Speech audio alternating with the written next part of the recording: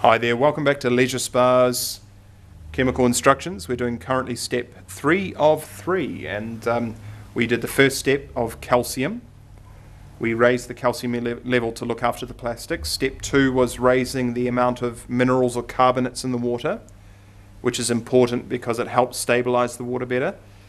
And we've got that correct. And now we're up to step three. So we've waited 20 minutes after the uh, the alkalinity was done and it tested fine. So now we're going to make sure our pH level is correct, right? So it's really important that the pH is correct. So if we leave pH low on the chart, see it's more of an orangey lighter color, that's acidic water. Now acidic water is is going to etch away at the metals and plastics within the pool um, it'll give you a feeling of a tingling feeling on your skin, like you think it's the chlorine doing it, but it's actually the pH being very low. Um, it literally is not good for your pool to be low acid, low in pH.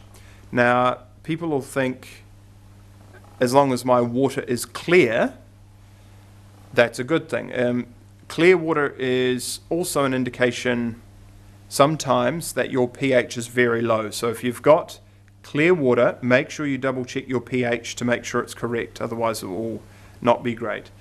The other way of doing it is if pH is very high. You can see it's more of a reddy color on the chart here. If high pH is more alkaline, and high alkaline pH water can cause the water to make the calcium solidify onto the sides of the spa. And that's called scale, and it can form like a grittiness on the side of the pool if you left the water very high in, on, in the pH level. So the ultimate is actually on the test strips up the top here, it's got OK.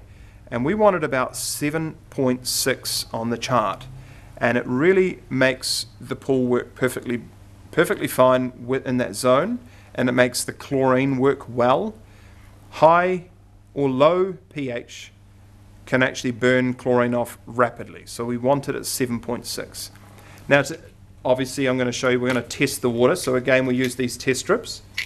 And again, remember, you do not dunk and swirl. You do not shake the test strip. You just dunk it in, raise it out, and hold it for 10 seconds horizontal. And then we can compare against the chart. So what we're going to do is now we're going to have a look.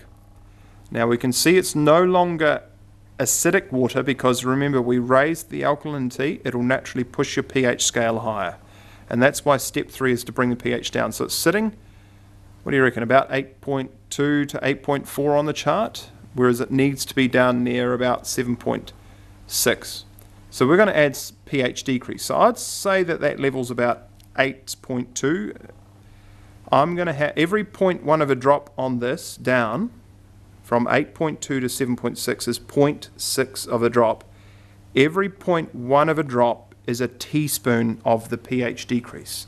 So on this one, I'm going to add six teaspoons of pH decrease to the actual spa water. Now, obviously, again, we get the jets running to do so, but six teaspoons straight into the pool. One, two, three, four, five, six. Once you've added the six teaspoons, obviously leave the jets going for 20 minutes just to mix that chemical into the water. And we're going to come back in 20 minutes' time and we're going to test to make sure the level of pH has been brought down into the correct zone.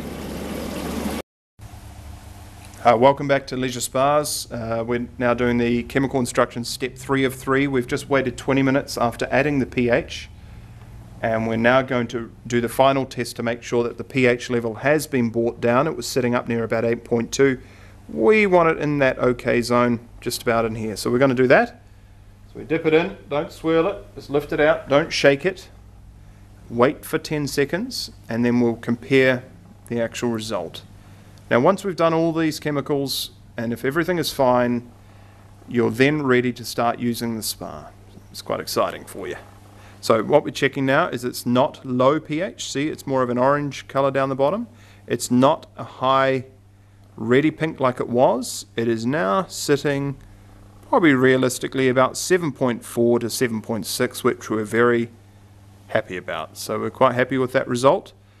Going forward now, if you've just filled your spa from a, a brand new water and you're doing this whole process, we want to add two teaspoons of spa chlorine at this point to the water to uh, make sure any bacteria that has been growing in the test water of the plumbing uh, to be killed. So we just add two teaspoons of spa chlor to the water at this stage. And then you're good to go to use straight away. Well done.